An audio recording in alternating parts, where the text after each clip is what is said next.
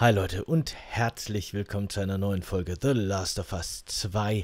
Nach der überaus bedrückenden und krassen letzten Folge, bei der Ellie zusehen musste, wie Cole, äh, Joel äh, getötet wird, werden wir jetzt erfahren, wie es weitergeht. Mit ihr und denen. Wer genau sind die? Sind es wirklich die Fireflies, die sich rächen wollen? Aber das wäre durchaus verständlich und so. Aber warum suchen die dann nicht nach Ellie vor allem? Warum wollen sie sich unbedingt an ihm rächen, statt, ne? Ich meine, das Heilmittel ist noch in Reichweite. Ist Ellie wirklich überhaupt der einzige Mensch, der immun ist? Naja, gut, Fragen über Fragen. Vielleicht hat es auch mit den Ereignissen aus dem ersten Teil gar nichts zu tun. Ich bin gespannt. Schauen wir mal.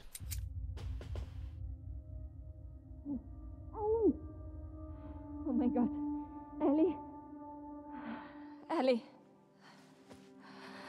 Tut mir leid. Jesse! Sie sind hier unten! Nein.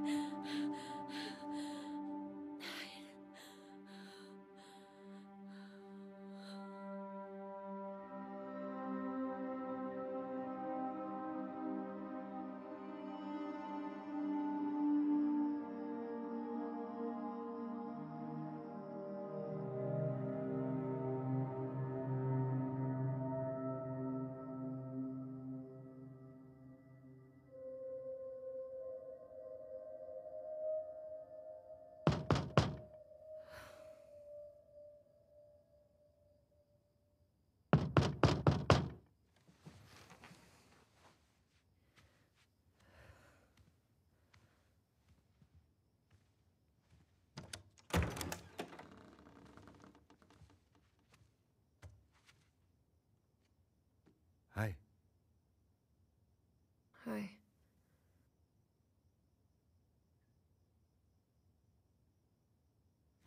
Kann ich mich setzen? Ja.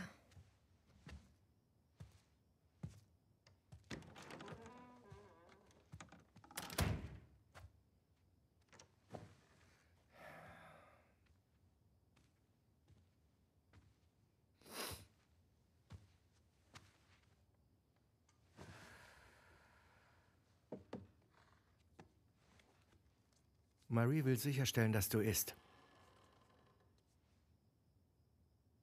Sie kann uns nicht aufhalten.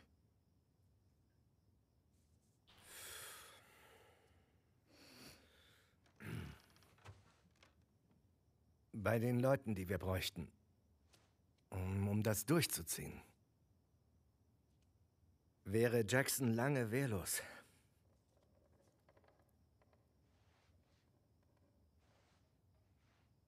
Sie sollen also damit davonkommen? Das will niemand. Ja, aber genau das wird passieren. Und wenn wir wieder auf Jäger treffen? Ist das deine Sorge oder ihre? Die Sorge ist berechtigt. Wenn es um uns ginge, wäre Joel schon längst auf dem Weg nach Seattle. Wäre er nicht. Verdammt, auf jeden Fall wäre das. Wir wissen doch noch nicht mal, ob sie aus Seattle sind. Washington Liberation Front. Genau das stand doch auf ihren Aufnähern. Und wenn die Jacken gestohlen waren? Das ist... Was, wenn sie längst nicht mehr dort sind? Was soll der Scheiß?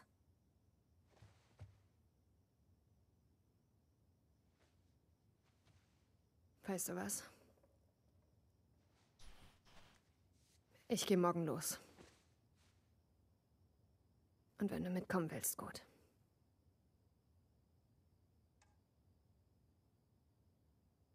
Du hast keine Ahnung, was dich dort erwartet. Du weißt nicht, wie groß die Gruppe ist, wie stark. Ist mir egal. Du kannst mich nicht umstimmen.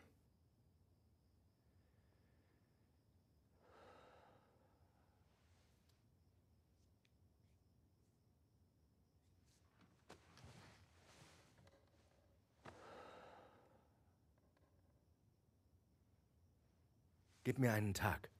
Ich rede mit Maria. Okay? Sie muss einfach ein paar Leute abstellen. Und wenn das nicht klappt? Tja, dann werde ich mir was überlegen.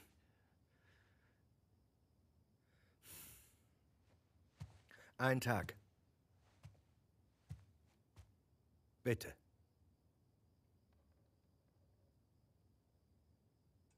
Gut.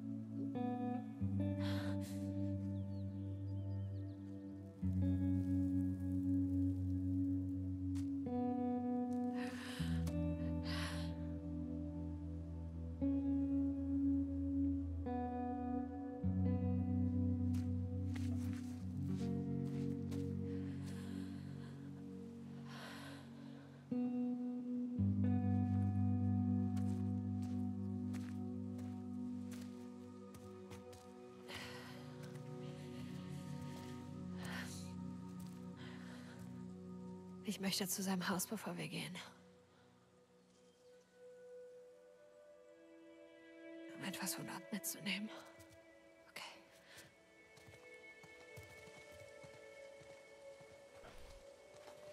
Ich konnte nicht zu den Pferden. Anscheinend hat Tommy eins genommen. Jetzt hat Maria die Stelle abschließen lassen. Scheiß Tommy. Unterwegs fällt uns schon noch was ein.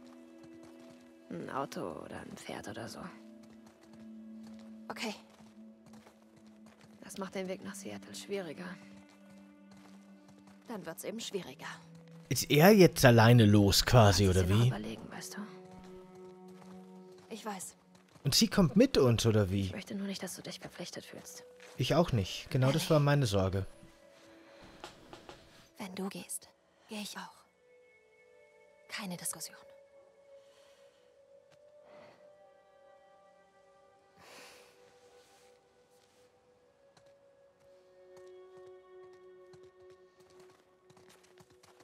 Musst du deinen Rucksack holen? Den habe ich bei den Osttoren versteckt. Ich dachte, da schlüpfen wir raus.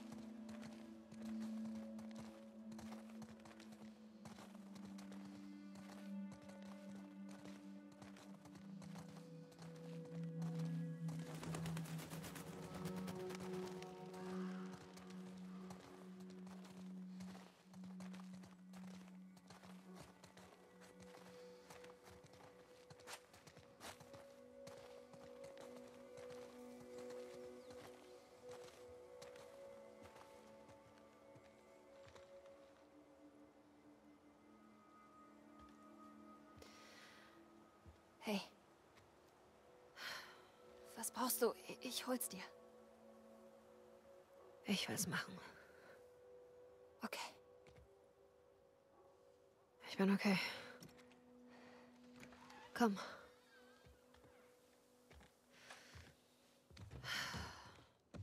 Ich warte hier unten. Danke. So, jetzt müssen wir uns eh erstmal alles genau in Ruhe anschauen.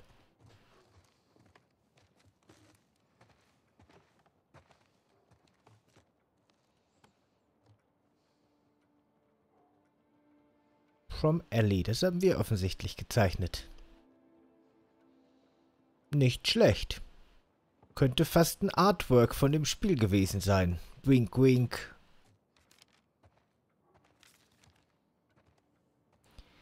Dinosaurier. Dino-Nychus.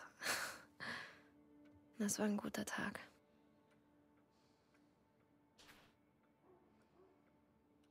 Riesen der Vergangenheit. Deinonychus. Da hatten wir auch ein Buch in unserem Zimmer, ne? Viel Dinosaurier und, und Astronauten, Space-Zeugs. Ziemlich cool.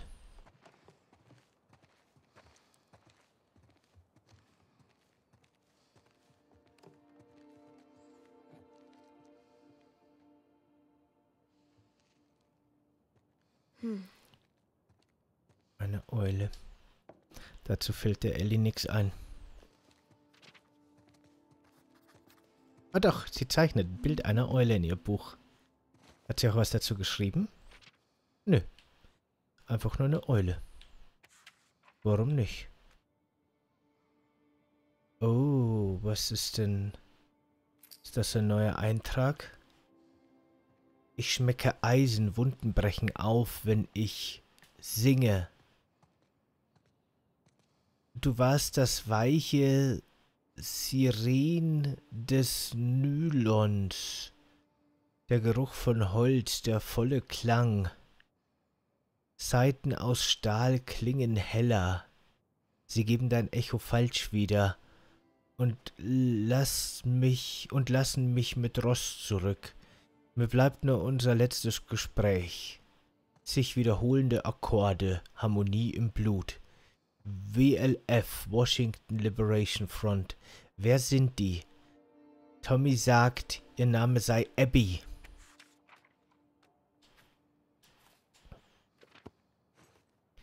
Die Washington Liberation Front. Ja, was hat Joel getan, was so viel Hass gegen ihn ich traue ihm ja alles zu. Wir haben äh, ihn ja kennengelernt im ersten Teil. Und da hat er anscheinend seine schlimmsten Zeiten schon hinter sich. Ich will nicht wissen, was der alles angestellt hat in seinen jüngeren Jahren. Insofern hat er wahrscheinlich, gibt es wahrscheinlich viele Leute, viele Gründe, warum er ihn ermorden wollen würde. Das ist eigentlich cool das ist eigentlich deswegen ziemlich cool, weil es in der Geschichte bisher keine Bösen gibt. Im Grunde. Wahrscheinlich war Joel, wahrscheinlich war Joel der wahre, wenn man einen finden will, der wahre Antagonist in der Geschichte. Naja, ich bin wirklich sehr gespannt, wo das noch alles hinläuft, weil da gibt es bestimmt Reveals, mit denen rechnen wir vielleicht gar nicht.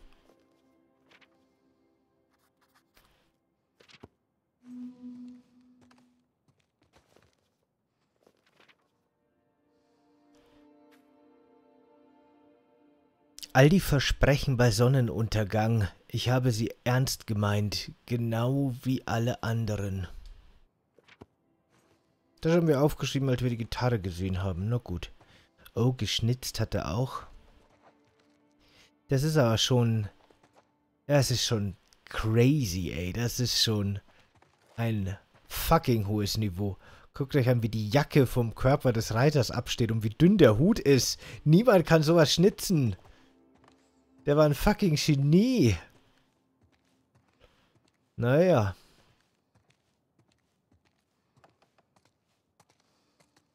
Ah, oh, die Waage bewegt sich nicht, wenn wir uns darauf stellen. Schade.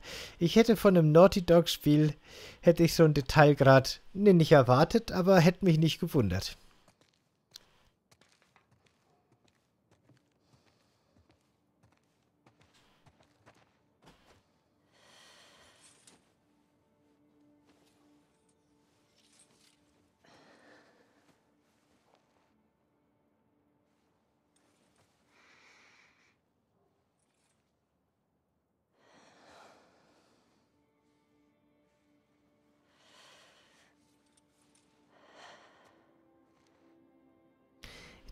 Dachte ich schon, die nimmt die Jacke. Weil ich meine, warum nicht? Das wäre cool gewesen. Wahrscheinlich das auffallend rote Kästchen. Space. An Idiot's Guide to Space. Ist schon interessant. Die gleichen Sachen, die wir bei Ellie zu Hause gefunden haben. Vom Interessengebiet her.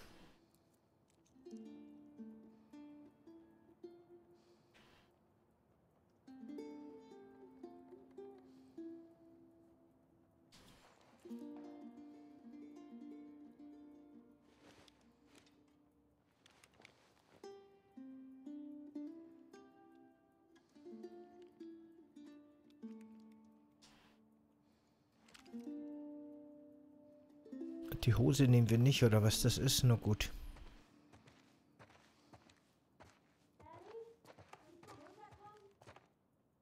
Alles okay? Ich komm gleich.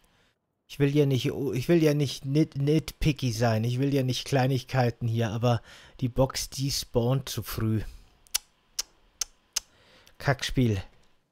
Eins von zehn möglichen Punkten für den total äh, zerstörenden, Atmosphäre zerstörenden Fehler. Untragbar. Ach, guck mal, da ist er mit seiner Tochter. Hatten, kennen wir das Foto aus dem ersten Teil? Steht das da schon im Wohnzimmer? denke schon, oder? Bin mir aber nicht sicher. Tja, da draußen geht ein Pferd.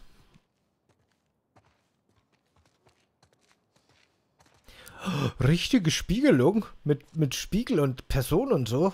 Ha! Verrückt. Kein Mörder hinterm Duschvorhang. Gut, gut. Anscheinend hat er es mit Pferde auch, der Joel, oder? Pferde, Weltraum, und Dinosaurier. Wenn der in einem Astronautenanzug auf einem fremden Planeten auf einem Dinosaurier hätte reiten können, wäre wahrscheinlich sein Leben erfüllt gewesen. Naja. Man hört sie, es ist so krass, die atmet so laut, man hört ihre Nase so quietschen. Aber ihre Nase ist nicht verletzt, oder? Nicht gebrochen oder so dachte, naja, gut.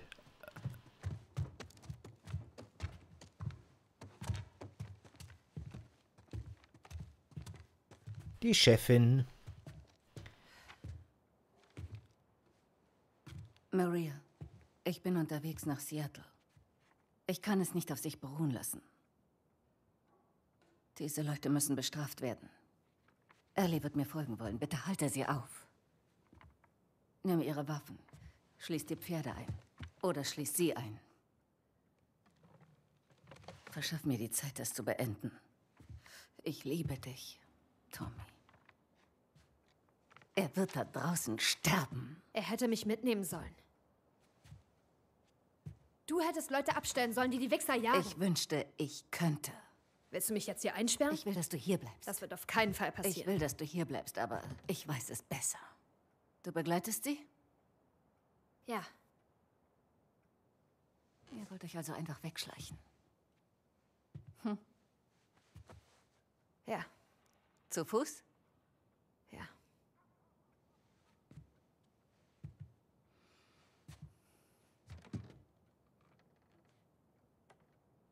Die Stallleute werden euch rauslassen mit den Pferden. Und nehmt Munition mit.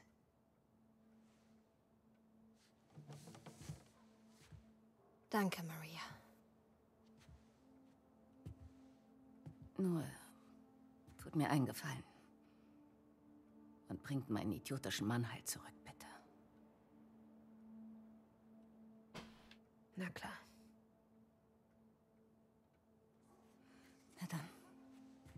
Los mit euch. Bevor es dunkel wird.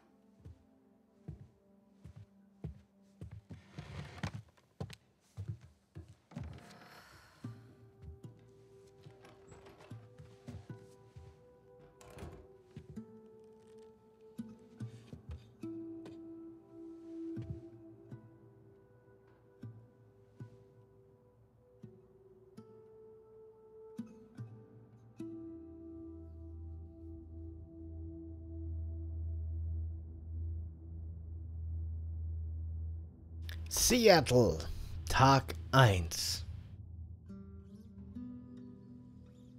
Sind wir jetzt schon in Seattle? Das wäre schnell gegangen. Oder spiele ich jetzt wieder die anderen? Das wäre interessant. Dieser Hunter war auf ihm und drückte ihn runter und Joel kam nicht an seine Waffe ran. Krass. Hattest du Angst? Ah. Tja, ich dachte gar nicht nach. Ich rannte hin, griff die Waffe und schoss dem Kerl in den Kopf. Das sieht hier schon schön aus, ne? 14. Wann hast du zum ersten Mal jemanden getötet? Du meinst Infizierte?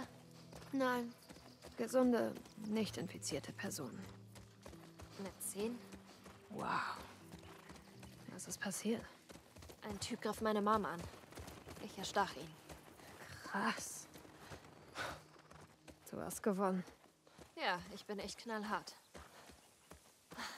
Wie verirrt sind wir? Ähm, gar nicht. Mhm. Hey, hab mal Vertrauen. Was ist mit diesen irren Kannibalen, auf die Joel und du getroffen seid? Sie haben euch mal verfolgt. Vielleicht gehören diese WLFs ja zu denen. Nein.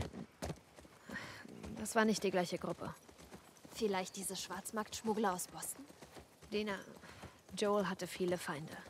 Es ist auch sinnlos zu spekulieren. Okay. Zumindest, bis wir mehr Informationen haben.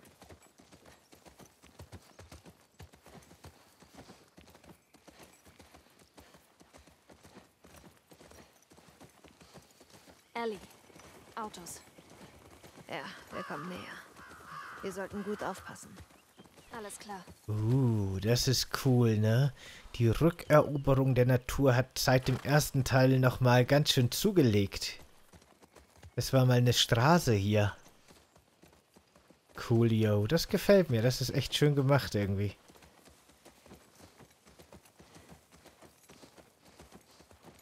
Da sind wir. Der Highway. Du weißt also doch, wo du hinreitest.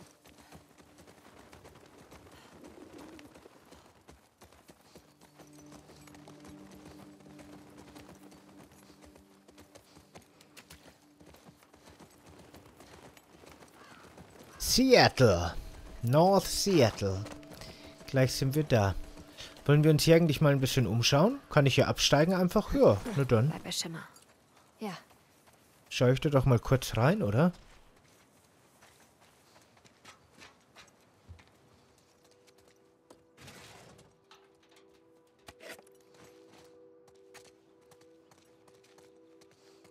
ja. Ah, eine Sammelkarte. The Starfire Kit. Cool.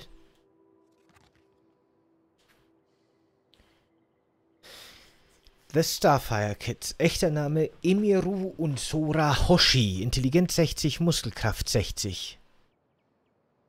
Society of Champions, als die 14 Jahre alten Zwillinge Emiru und Sora Hoshi einen Meteoroiden in den Wäldern von Kyoto fanden und ihn berührten, erlangten die beiden die Kraft der Astrokinese, die Fähigkeit, Sternlicht in Energie umzuwandeln. Sie wurden daraufhin von der Society of Champions in Gewahrsame, ins, in Gewahrsam genommen und Tresurrecta unterwies sie darin, ihre Kraft gefahrlos und weise einzusetzen.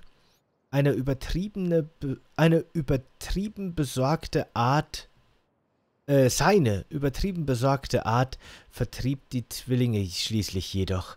Jetzt leben sie auf der Straße und versuchen allein den Sinn und Zweck ihrer Kräfte auf den Grund zu kommen. Gesinnung Helden.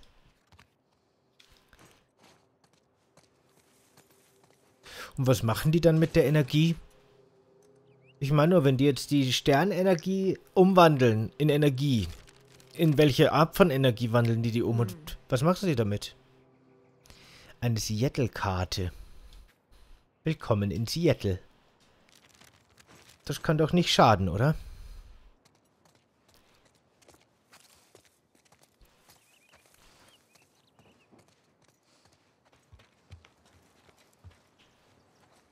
War was Gutes da drin?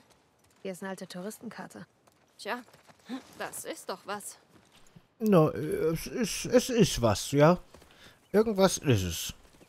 Das stimmt.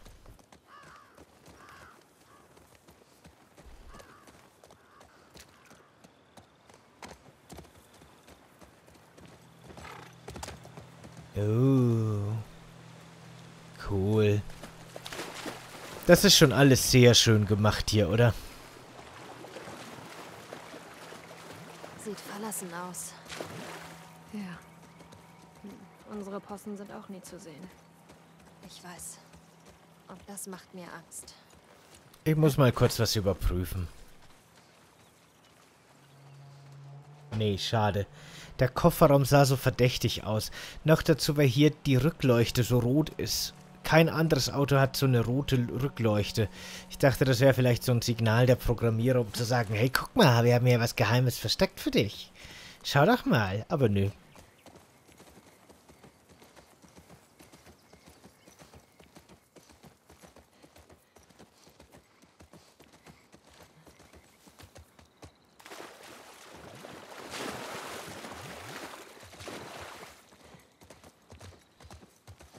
Das Pferd ist der wahre Held in der Geschichte.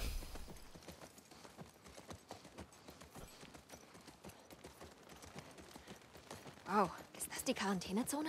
Uh. Yep. Schau mal nach oben.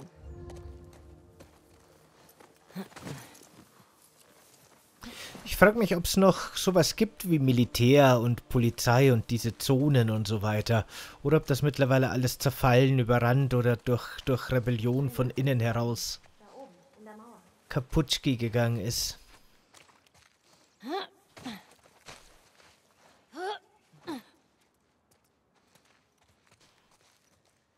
Da ist was. Ein alter Lappen. Was will man mehr?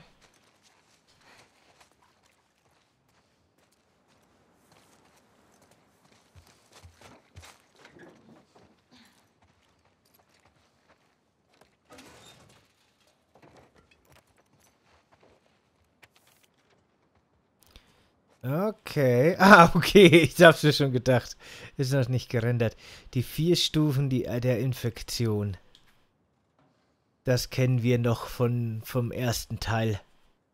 Fedra-Stufen der Infektion. Infektionsstufe 1. Der Chordiceps hat die motorische Funktion des Opfers übernommen. Schnell und wendig. Infizierte der Stufe 1 sind gewöhn, äh, gewöhnlich in Gruppen unterwegs nicht überrennen lassen. Infektionsstufe 2, nicht nutzt die Umgebung zum Verstecken und Angreifen der Opfer aus dem Hinterhalt greift oft von der Seite oder von hinten an, mit Vorsicht nähern und Umgebung überprüfen. Infektionsstufe 3, völlig blind, aber geschärftes Gehör, spürt Beute mit Hilfe von Echoortung auf, auf Abstand bleiben. Stufe 3 Infizierte sind für ihre heftigen Angriffe bekannt und sind extrem tödlich. Infektionsstufe 4, selten, aber gefährliche Weiterentwicklung der Infizierten der Stufe 3. Unglaublich stark, können säurehaltige Geschosse schleudern, nicht angreifen, wenn nicht absolut nötig.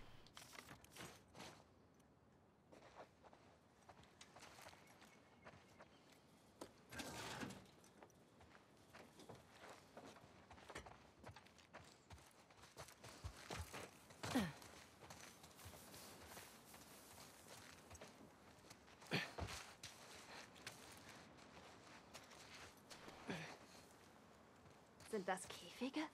Arrestzellen. Wie bei den Soldaten in Boston.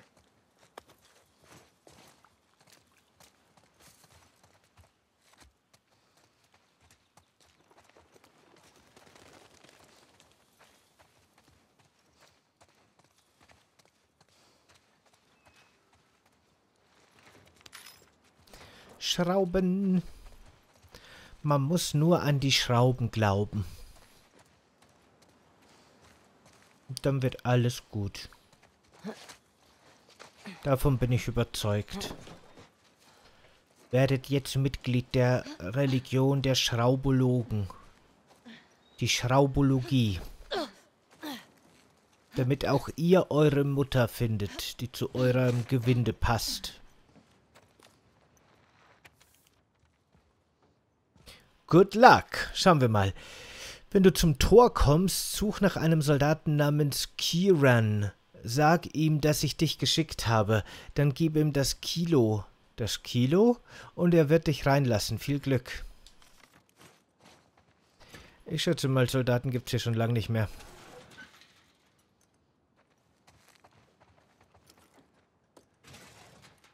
War was Gutes da drin?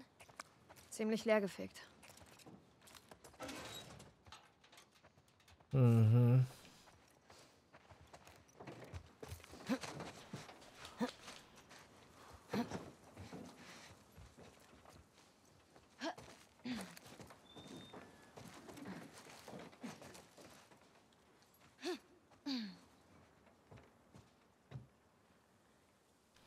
Da ist eine gelbe Leiter. Da müssen wir also hin.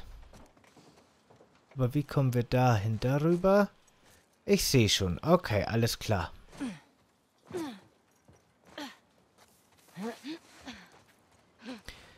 Federal Disaster Response Agency. Na, geh rein, geh hoch.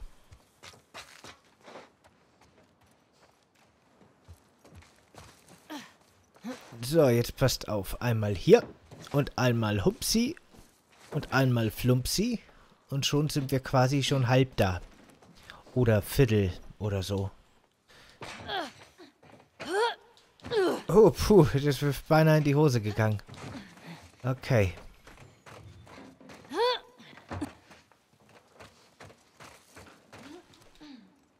Räuberleiter!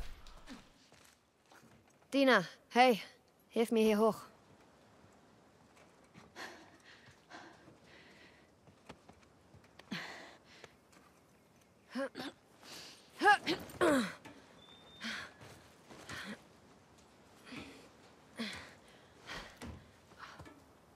Ich halte die Augen offen. Versuch das Tor von der anderen Seite zu öffnen. Klingt gut.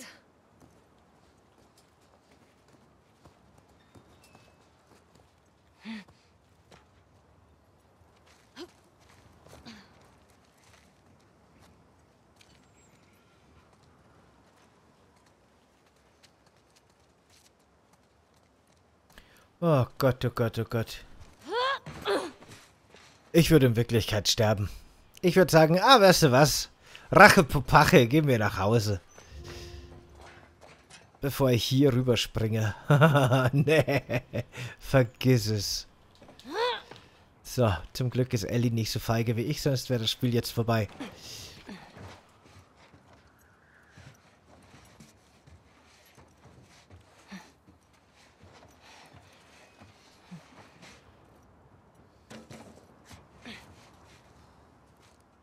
Wisst ihr was? Ich muss ganz ehrlich sagen, als ich die guten Wertungen von dem Spiel gesehen habe im Vorfeld auf Metacritic, habe ich mir gedacht...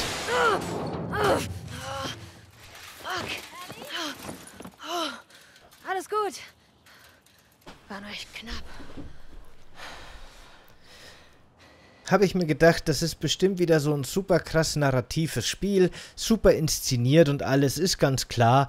Und das Gameplay wird wahrscheinlich wieder vernachlässigt und keinen interessiert. Aber es stimmt nicht. Das Gameplay ist vollkommen in Ordnung bis sogar gut, richtig gut. Das wird sich erst noch zeigen, ob das auch dann abwechslungsreich ist, ob die Progressionsmechanik motivierend ist, ob die, ne, das, das zeigt sich noch. Aber ich glaube, das hat wirklich Potenzial, den ersten dann nochmal bei weitem zu übertreffen. Weil Uncharted dagegen hat irgendwie so gut wie kein nennenswertes Gameplay. Ein bisschen klettern, aber das ist eher so ein bisschen, ne? Das geht ja fast von allein. Und ein bisschen Shooter, Deckungsshooter, aber naja, mein Gott, ist jetzt auch nicht gerade ne, super tiefgehend. Aber hier gibt es sehr viele Mechaniken, die gut ineinander greifen. Gefällt mir gut bis jetzt alles. Gutes Spiel. Also nicht nur guter interaktiver Film, sondern auch gutes Spiel. Das finde ich gut. Cool. Ja. Yeah. Der Chessmaster. Brains 100. Muskeln 40. Zugehörigkeit keine. Nach einem Zusammenstoß. Uh nach einem Zusammenstoß mit dem multidimensionalen Helden Tesseract, der ist anscheinend, der ist eine sehr zentrale Figur, oder der Tesseract, von dem hören wir dauernd, konnte das kriminelle Superhirn Calapsophos plötzlich jede mögliche Auswirkung seiner Entscheidungen sehen, bevor er sie getroffen hat. Ja, das macht ihn dann quasi zu einem Videospielprotagonisten im Endeffekt. Also ein Videospielprotagonist muss die Entscheidung erstmal treffen, damit der Spieler die Auswirkungen kennt, aber dann kann man neu laden und weiß, was passieren wird. Naja, da er jetzt Dutzende von Zügen im Voraus sieht, der sehen kann, nennt er sich seither Chessmaster. Seine neue Fähigkeit hat aber auch ihren Preis. Er hat zwar die er hat zwar ein Vermögen damit gemacht, andere Kriminelle bei der Planung ihrer Verbrechen zu helfen, doch das Wissen um alle möglichen Folgen seiner Entscheidungen hat ihn zur Unentschlossenheit verdammt. Er schafft es nicht, seine Kräfte für sich selbst einzusetzen und ist darauf angewiesen, dass andere für ihn entscheiden.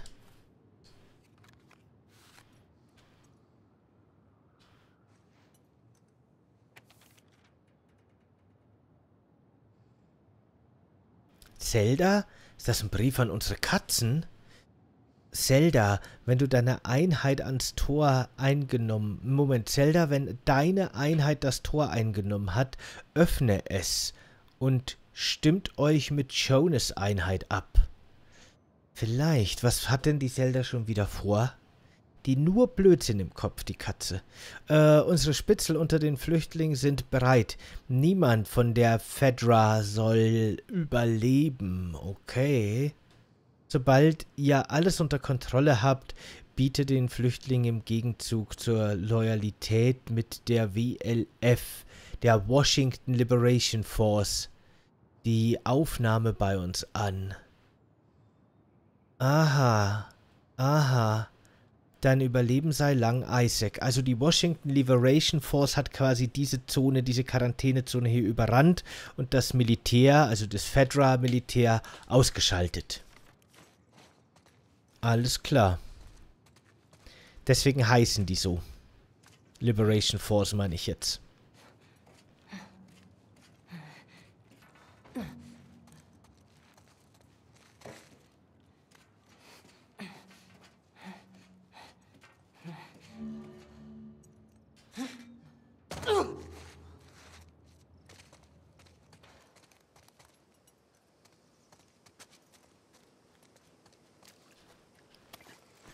Ziegelstein. Na, dann bin ich mal gespannt, ob wir den gleich brauchen werden. War klar, dass das nicht geht.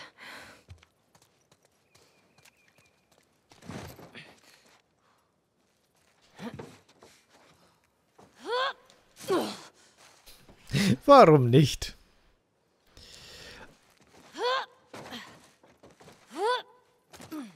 So Leute, ich glaube, wir machen jetzt Schluss für heute alles Personal, Report Any, jeder Verdächtige, bla bla bla, sofort melden. Todesstrafe. Holy shit. Ja, aber die brauchen sich nicht wundern, dass die dann von irgendwelchen Liberation Forces alle abgeschlachtet werden, wenn die hier so eine Militärdiktatur mit sofortiger Todesstrafe wegen jedem Pups einführen. Ist eh ganz klar. Naja, Leute, bis zum nächsten Mal. Macht's gut. Ciao.